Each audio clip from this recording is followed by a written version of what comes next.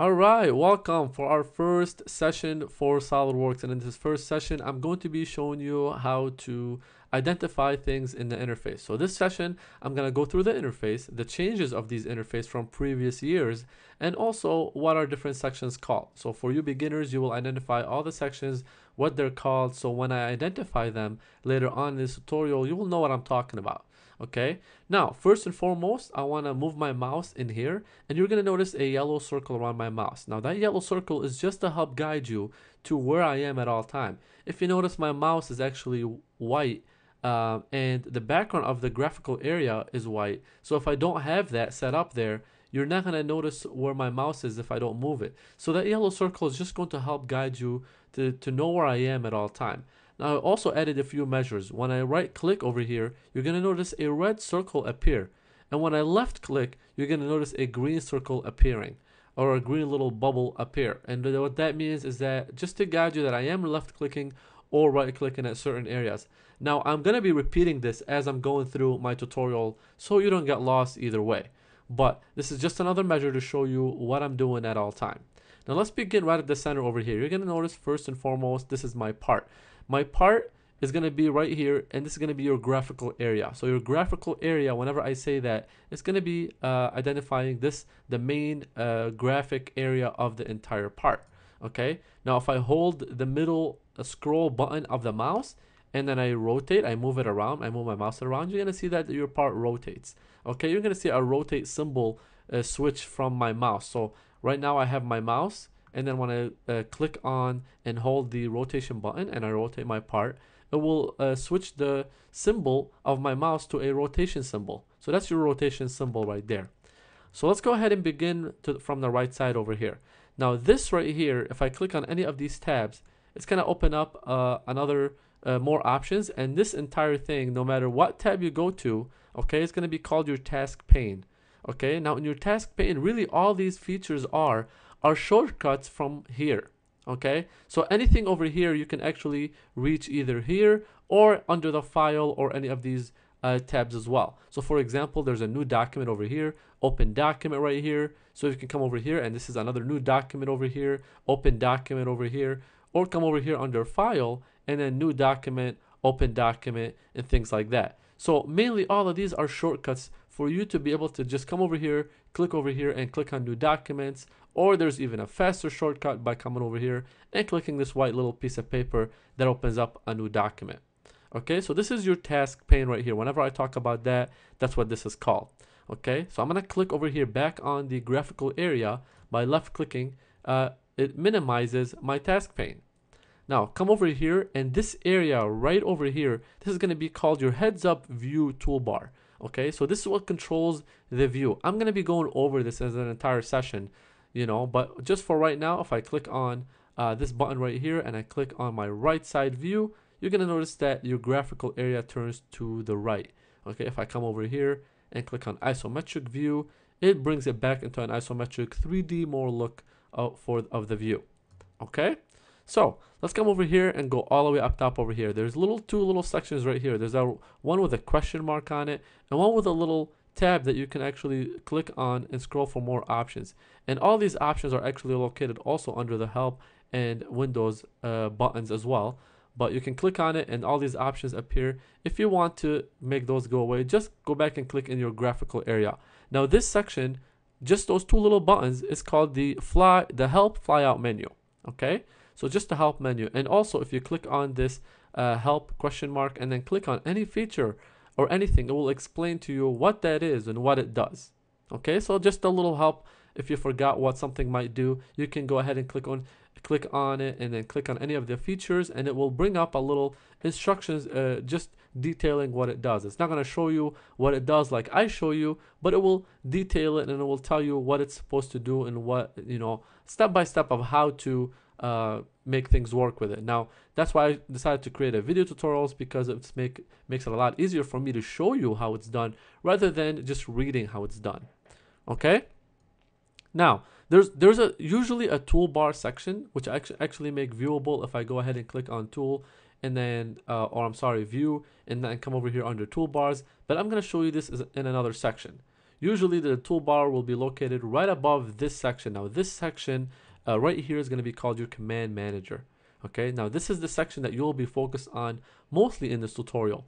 Uh, okay, you're going to be coming over here after sketching a part. There's going to be five tabs over here. Usually there's five tabs. Sometimes there's more tabs depending if you have uh, things in here that you're using. But most of the time there's actually only five tabs. Okay, and then uh, the, the main two tabs that we'll be using most of the time is going to be your sketch because you need to create a sketch before you create any part in 3D and also your features.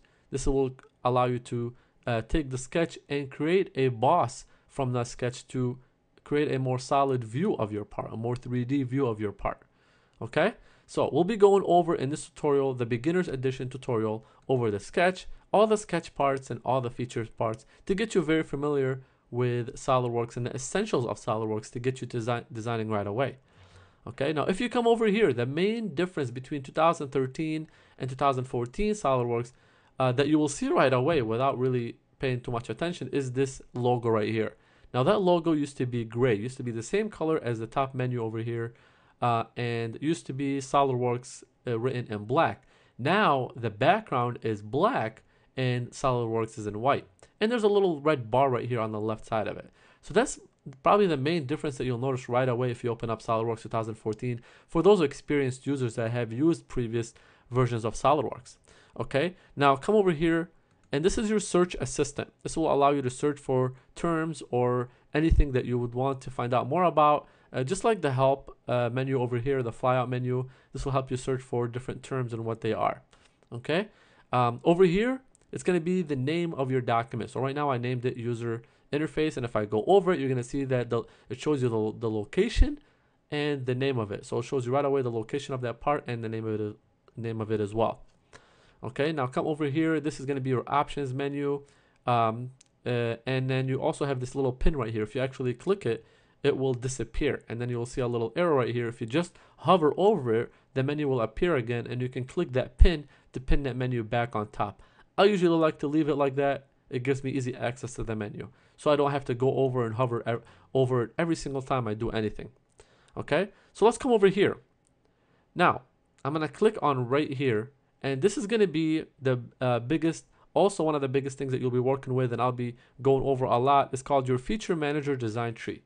And this will show you uh, each uh, step by step on the first thing that you've done, the second thing that you've done, third uh, operation that you've done. So every feature that you've done from first step to the last step. And there's a line right here that I will show you what that line does a little later as well. So right now, I just want to tell you that this is uh, this is just to guide you through every single uh, step that you uh, of creating this part, and it's called your design tree. So feature manager design tree.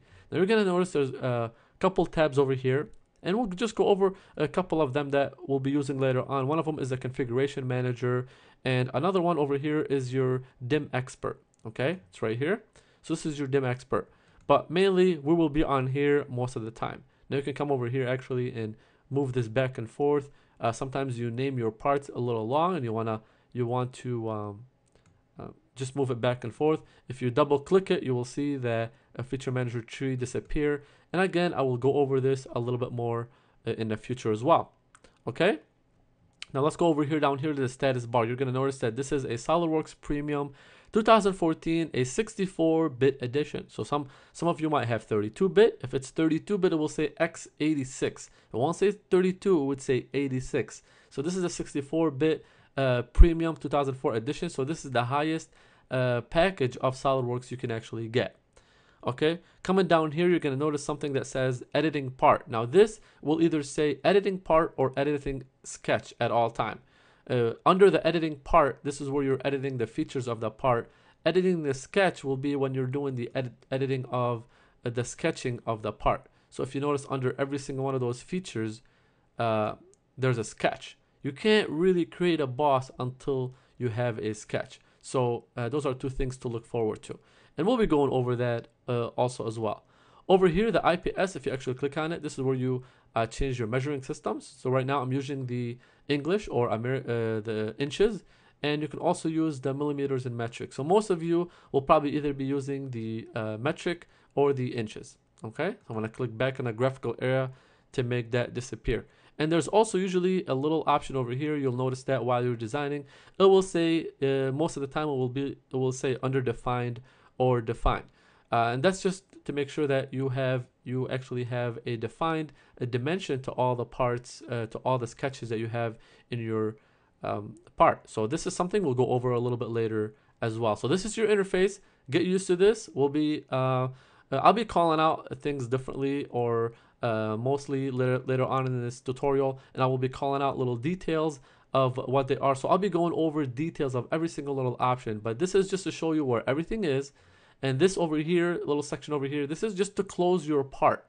Okay, so be careful of not closing your part uh, and closing SolidWorks. So this is over here to close and uh, minimize or maximize SolidWorks. Right here, this is to close your part. So if I actually uh, minimize this, it's to minimize over here and you can actually have multiple parts open of course and then if I maximize it over here you're to see your part maximize back over here so this is your user interface get used to this uh, another difference real quick between 2013 or previous versions of SolidWorks and this one is also the command manager over here it's not it doesn't have the 3D look that it had in previous versions. In previous versions it has a little bit more 3D look for the buttons, especially in Windows 7. Now I'm using this in Windows 8, so you're familiar with what what uh, operating system I'm using it with. This is actually Windows 8.1. It's the newest Windows that has been out and uh, it works perfectly, very smooth and fine.